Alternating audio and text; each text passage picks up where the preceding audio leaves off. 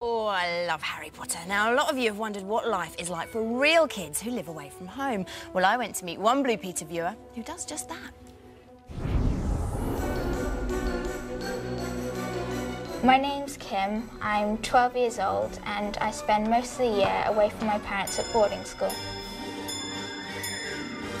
Wow, Kim, this entrance hall is pretty impressive, isn't it? What did you think the first time you came in? It's a lot different from my old school because my old school was quite modernised and it's such a big school so you're sort of a bit shocked when you get here. What should we do now? Uh, probably go to assembly. Okay, cool, let's go.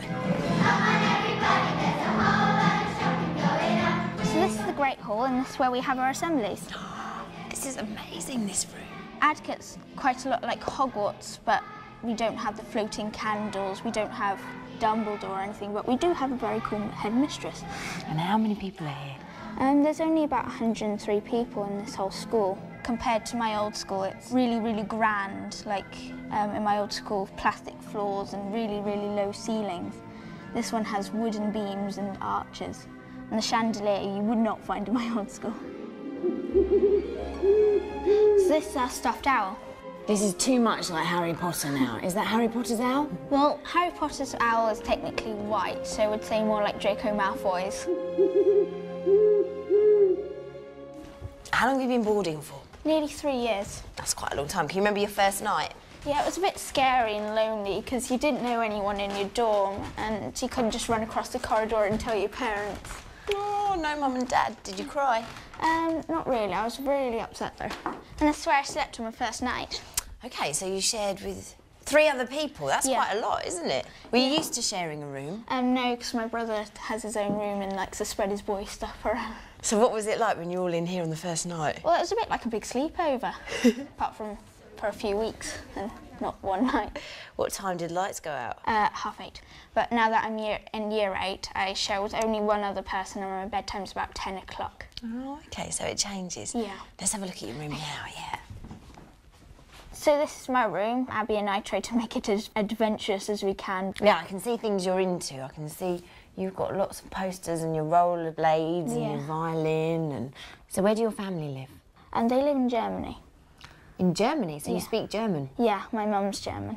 How do you feel? Your brother's at home and you're here. I sort of get a bit jealous of the fact that he gets to talk to mum every night. I get to speak to her about once a week whenever she phones, and if it's something special, then about twice a week and things.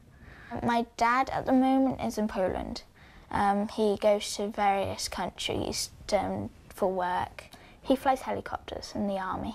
He's been to Iraq twice this year. And how was that for you?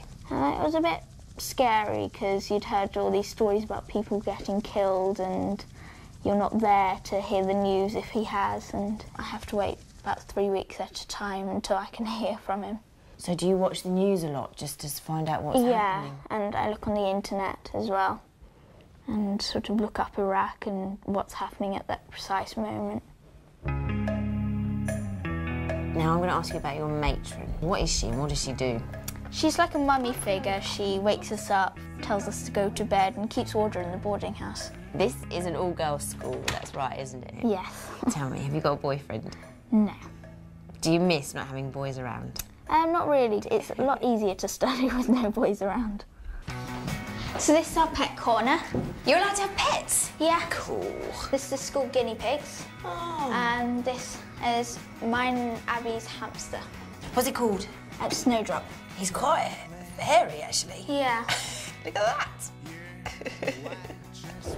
this is our common room. We watch TV, DVDs and videos, and we play board games and activity games. I like it, I like it. One of the things I like about Adcote is the small classes. There's only about 13 in my class, and um, the teachers can get around to help you quicker. They don't spend their time telling people off.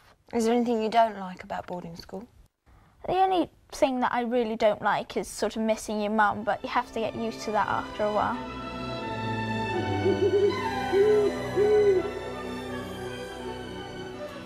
Kim, I want to say a massive thank you for showing me around your school. I've loved it. It's been a great day. Thank you for coming. You're welcome. I want to give you something very special. This is your very own Blue Peter badge. Thank you very much. Do you like it? Yeah. Night, Kim. Night, Abby. Oh, when the lights go out, I'm sure there's mischief. it was a lovely school, though, but more like a home, actually, than the school, I thought. Oh, that's nice.